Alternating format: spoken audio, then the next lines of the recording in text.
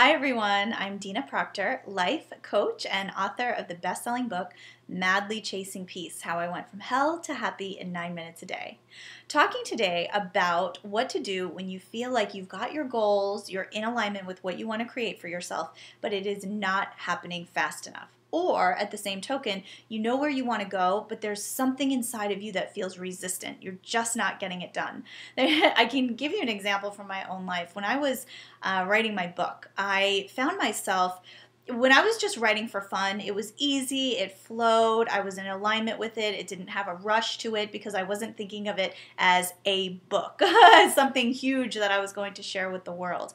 When I became conscious that this was going to be a book, something shifted in my mentality and I brought up all this unconscious resistance. And I started noticing I was I was writing with almost a censored voice. I wasn't writing in flow anymore. I was very concerned about how it would be perceived perceived in the world, and I completely lost touch with my muse, with the source of inspiration inside of myself. And I was really frustrated because I knew where I wanted to go, I knew how to write the book, I had the support system around me to write the book, but something inside of me was just keeping me stuck. And every time I thought about it, the whole the whole thought pattern would be oh my gosh i know i should be doing this and i can't do it and i'm so worried about what people are going to think about it i had this whole story going on in my head and this could be for anything that you're that you want to create in your life. It could be a healthier body, or it could be a business decision, or um, it could be that you're delaying talking about something in a relationship. You know, you know where you want to go,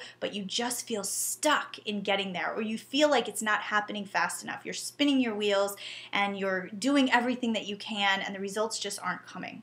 So the biggest thing that I learned, this is this is what I put into practice when I was stuck with the book, and it has worked in every situation I've tried since then is that I took kind of a 30 day fast of thinking of it at all. I just told myself it was kind of the end of one month leading into another, and I said, okay, for the month of May or whatever that month was, I am going to completely take all of my attention off of the book. If an inspired you know idea for it comes to me i'm not going to squelch it i will write it down and then at the end of this month in the beginning of june i will go ahead and pick up the book again and add all these things into it right? So i said i i'm not denying my muse i know that it might be there i may get inspired ideas about this but every time i think about it and every time i sit down to try and get this done i'm not making any progress i just feel stuck and that it gave me relief to just think okay for these 30 days i'm off the hook and if I started to feel like that's too much time, I felt anxious, I'd say, I can worry about that in June. And the beginning of the next month, I can worry about that all I want to. But for these 30 days,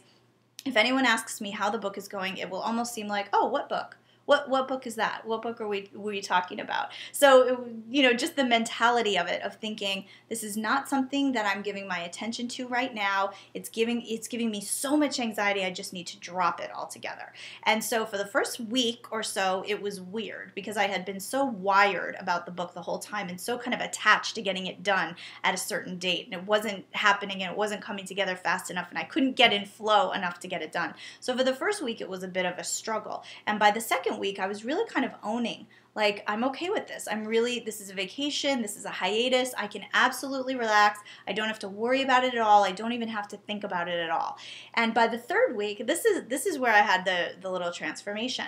On the third week, I had an inspired idea, like a really good line I wanted to put in the book and I knew exactly where it would go. And I had my laptop with me and I thought okay, I know I'm on my fast and it's only another week and a half or something before I can add it in there, but you know what? I know exactly where it's going to go. Why don't I just open up the document, I'll plug in that line and be done with it. So I opened up the book, you know, the, the document, I put in that line, and then I kind of read over the paragraph and I had a couple more changes to the paragraph. And I said, okay, let me just kind of read this section and see if it goes okay. Then I said, let me just proof the chapter. This was all in the same you know hour or two that I was sitting down with this. It was just in that same that one sitting. And by the end of maybe an hour and a half or two hours, I was so fully engaged and absolutely in flow in doing the book that it took me about 10 more days of just pure writing. That's all I was inspired to do was just absolutely write. I was so in flow.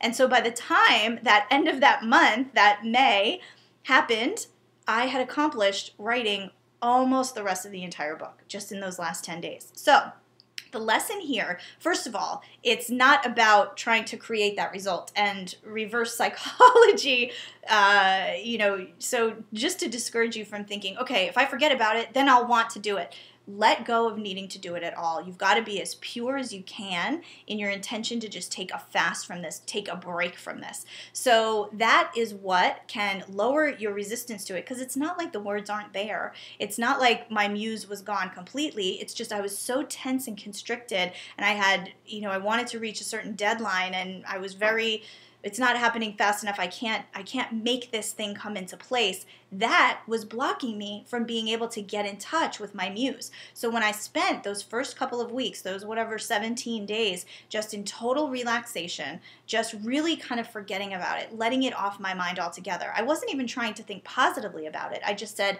it's too triggering for me right now. I'm letting go of the need to think about it altogether.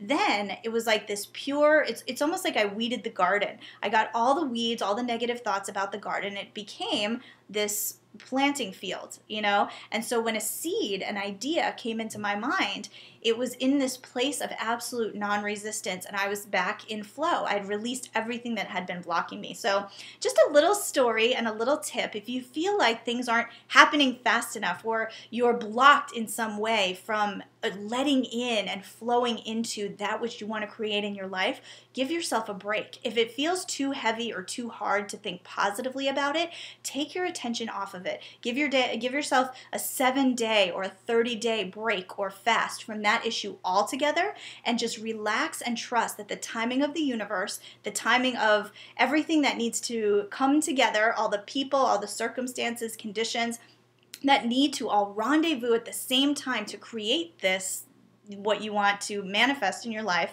that everything will come together at the exact right time for your greatest good and for the greatest good of all people involved. That's my favorite thing I learned from from from working with Jack Canfield is for the greatest good of me and for all people involved here. And that can really help you relax and trust and get back in flow so that you can allow, not about making it happen, but allow this to come together uh, in a beautiful way in your life. So I hope this was helpful for you. Thank you so much for taking the time to tune in, and we will catch you next time.